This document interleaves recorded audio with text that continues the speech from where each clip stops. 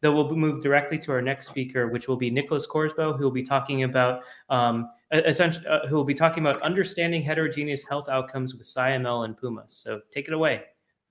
Hi, hi, thank you. So my name is Niklas Korsbo. I'm a scientist at Pumas AI, and yeah, I'll be talking about uh, modeling healthcare. Um, so Today, we live in this age of patient-specific data, where we have access to data coming in from clinical tests or monitoring devices or medical images or omics, or even like wearables such as your smartwatch. But a key question is, what kind of information is actually predictive? And how do you utilize these predictive factors in order to make the best decisions? And so we think that effective use of data is one key component of patient-specific analyses. Another key component is the knowledge that we already have about our systems. So we're studying some specific disease or some specific treatment, and we might know something about the molecular interactions or the cellular interactions that are actually important for those processes. And we might also know some of the covariates that might be informative of patient outcomes. And all of that knowledge is highly important to us. So we don't want to just throw it away which is why we tend to do scientific machine learning, where the idea is then to combine data-driven machine learning with knowledge-driven modeling in order to then make the best possible predictions. So we'll have a look at modeling patient outcomes. And typically, we want to see how a model outcome can, uh, how a patient outcome can evolve over time. So you might have data coming from a clinical trial where people have been tra tracked for a while, and you want to see what is driving the disease progression, what is driving the, the effect of treatment. So for that, you tend to use a dynamical system, so a set of ordinary differential equations. And now looking at the data, it seems as if we have a bit of noise in here, right? So we're going to add an error model to account for that noise as well. And if you look even more closely, you'll see that when you actually look at more than one patient, if you track many patients, you see that they are different and they're more different than you would expect from just some observational noise. And it's because like human beings are different. Um, and therefore, we are modeling them with individual parameter values. And so these individual parameter values, they're coming from uh, some typical values that is shared amongst the entire population that we're modeling. And we have some random effects, which are distributions that characterize the variability between different patients. Uh, how much are they varying? And finally, we say that we don't just want to characterize the heterogeneity, we want to be able to predict it. Um, and there we use patient data. So the idea is that we want to be able to measure something about our patients and hopefully use that to inform us of what their individual parameters should be and therefore to better predict their, their outcomes. And so this modeling structure is called uh, nonlinear mixed effect modeling. And it's a pretty nice structure in, in the sense that you can encode your scientific knowledge. If you know about the molecular interactions that are important or about how covariates can affect the system, this is a nice way to encode that. But there is sometimes some problems in knowing what to do, how to create such a model. And this is where we're turning to machine learning. So first, just what is a, a neural network? The neural network is an information processing mechanism it's loosely based on the ideas of a neuron, where every neuron takes a bunch of inputs, it processes that input, and it provides an output. You stitch a bunch of these neurons together in a network, and you get something that's quite good at processing information. And for us, it's important that mathematically, most neural networks are just functions. So neural networks are actually usable anywhere where you would use a function. And we use functions all over the place. And also, neural networks are universal approximators, meaning that if they're large enough, then they can approximate any mathematical function. And the functional form that they end up approximating is tuned by its parameters. And that parameter tuning can be linked to, for example, observed patient outcomes. And this gives us a way to use data to automatically discover functional relationships that might exist in our model. So coming back to the NLME structure, so what if you now have some input data that you just don't know what to do with? So you might have some, some uh, data from blood tests or genomics, or you might have some images, and it's not at all trivial to figure out how to use that information. And this is where we are turning to something that we call deep NLME, where the idea is that we want to augment the model with neural networks such that they can automatically discover how to process that information in order to turn it into something useful. And thereby allowing us to explain why some people's fare well and some people's don't uh, for different treatments. And not only that, um, but we also might have trouble defining our dynamical systems. That's quite common that you don't quite know what uh, what to model. And so again, if you're uncertain about something, you can just stick a neural network straight in there and have it uh, capture the interactions that you might be missing. So with this, we're hoping that we can create uh, good models to make good predictions. Uh, and this should all work because the neural networks, their functions, we have automatic differentiation in both the NLME structure as well as the neural networks. So we should be able to just train everything in, in concert, right?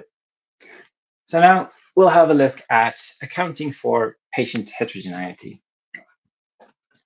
So here we did a synthetic analysis where we generate a or define a data generating model. We generate some synthetic data, and in that data, you can hide some pieces of information or you can have some noise. And then you use that data to fit a, a deep NLME model. And now, because we've used synthetic data, we know the ground truth. So we can evaluate success, which is something that is uh, a rare ability if you're working with real data where you have no idea what the true answer is. So does it work? So here I'm showing you uh, some synthetic data, and this is test data. So the model has never seen this before. We have access to the ground truth. So this is a population prediction from the data generating model. And here a population prediction means that we're not using the random effects. This is a real prediction, but it's from the true model. So the prediction is pretty good. Uh, we can have a look at a population average, which is a population prediction that doesn't use any of the patient data. So here the prediction is the same for every patient. Um, and this is something that we want to improve upon, right? And then finally, we have a look at the deep NLME prediction. So this is a prediction coming only from baseline values. So this is information we had at time zero. We're using that information to predict a full time course. And we see that we can uh, match the, the results of the true model quite nicely. So here we have it for uh, four virtual patients, but virtual patients are cheap. So we can have a look at thousands more. And we see that the deep NLME prediction matches the truth uh, really quite nicely. So does it work? I, I would say yes. Well, at least in this case, right?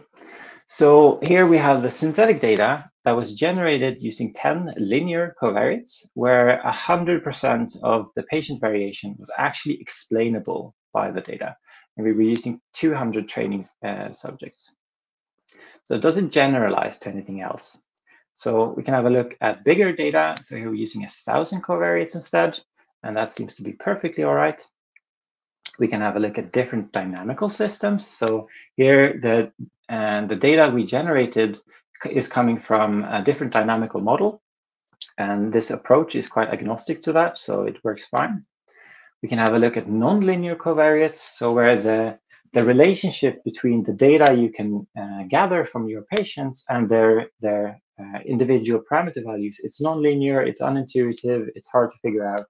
But neural networks are quite good at capturing such things. So we're doing well here too.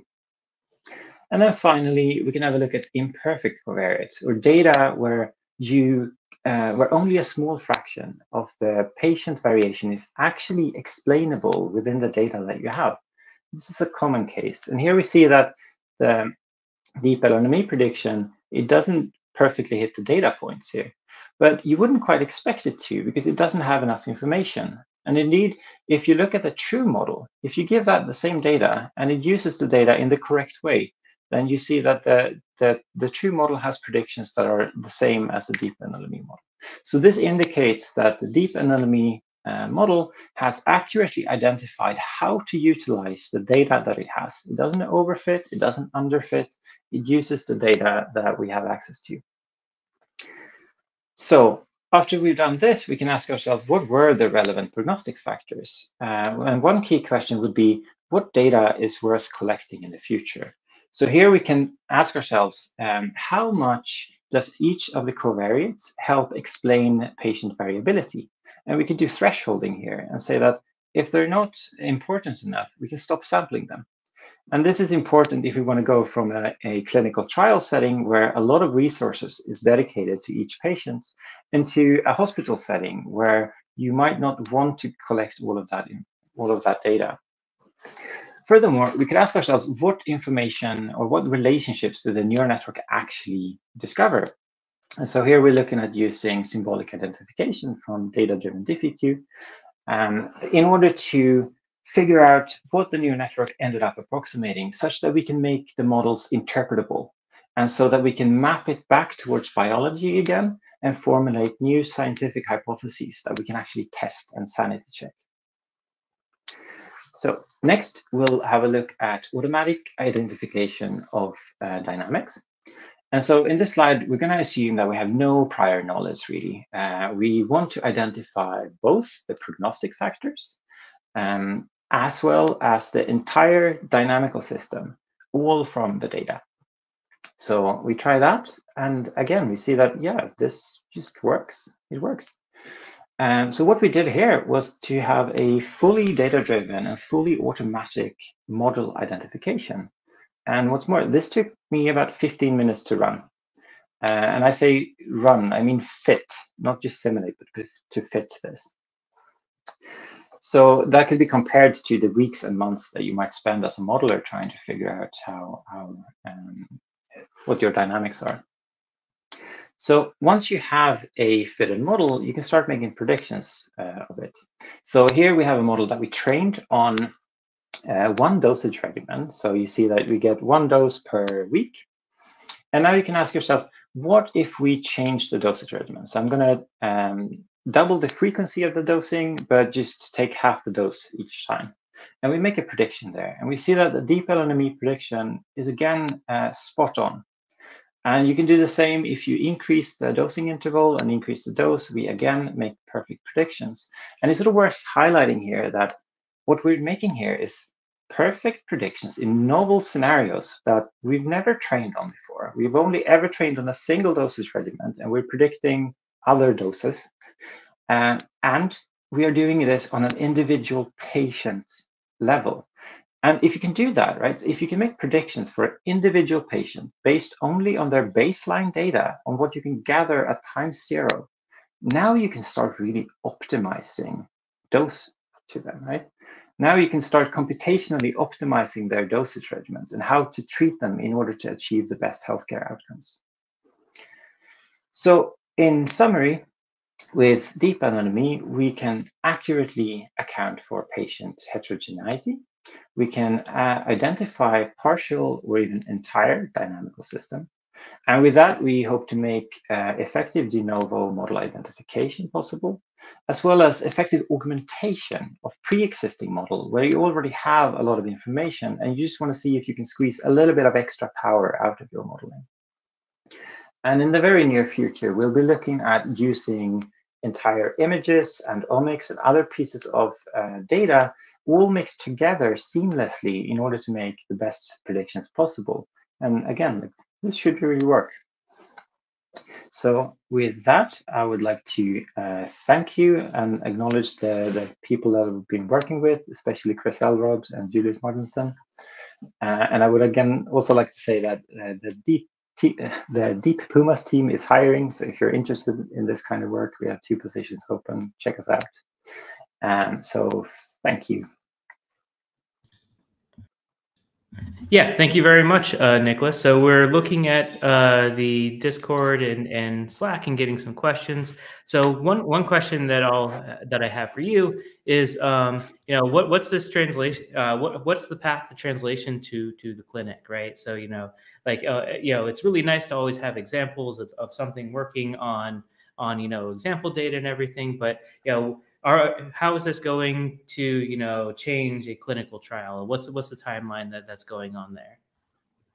So it's already happening right? So uh, we are developing this like not in a vacuum. Uh, we are developing the core basic research as well as the software while simultaneously doing um, consulting projects with uh, with other partners in in pharmacology. So this is already being used on the ground, and we're already squeezing information out of data sets uh, and finding that we we do get good results. We don't get the same kind of perfection that we've seen here because like we don't have access to perfect data at any time at all. But indeed, we seem to be beating the state, the, the previous state of the art. Yeah, and um, and a question that we have on the Discord here is, what types of scenarios would the clinic be open to trusting machine learning models? Like, you know, where where does this work with trust and and you know regulation? Like, what, what what's the point where we can say like, oh, you can trust the neural network to to choose your dosing mm. for you? Yeah, that's actually that's a good and tricky question. Um, regulatorily, it is being opened up a little bit to to machine learning where black boxes. You can probe them. You can you can see if they do any anything extreme uh, for extreme input and you can sign it to check them a little bit. Um, so that gives you a little bit more confidence but it's still uh, difficult. One promising approach is then symbolic identification especially for the dynamical system. If you can symbolically identify what your neural network ended up uh, approximating, and then simply replace your neural network with that identified equation, then you don't have a problem anymore, right? You've used the neural network in the modeling creation or modeling definition, but you don't have to keep it when you move to, to hospital. And that makes your model interpretable and you can sanity check it, making sure that like it's not going to blow up because some patient has some weird values. Right? Yeah, and we have a question from the YouTube now, which is how do you account for patient heterogeneity? Is there a specific hyperparameter in your model that accounts for it? Yes, um, yes. Uh, like we have here. So uh, patient heterogeneity, we account for it in, with the individual parameters, right? And we have this slush bucket term here, the random effect. So these are distributions that capture anything that's sort of left on the table or anything that, that we are unable to, to characterize. Right? So the patient heterogeneity is then coming from the individual parameters, that's coming from the typical values, from patient data, and from the random effects. Yep, and that's about time. So everyone thank our speaker, Nicholas. Um,